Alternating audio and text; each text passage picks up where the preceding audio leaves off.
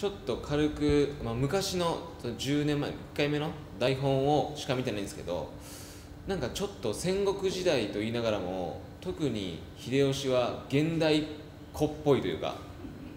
あもう無理っすよみたいなあの感じがなんなら僕ら世代っぽいなというかちょっとゆとり世代じゃないですけどみたいな感じがやっぱりあるし僕も普段からなんかこうもうお笑いが好きで結構明るい方ではあるんであなんか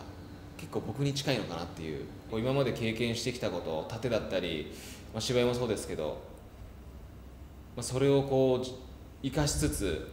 こう自分にこう秀吉の役を閉じ込めて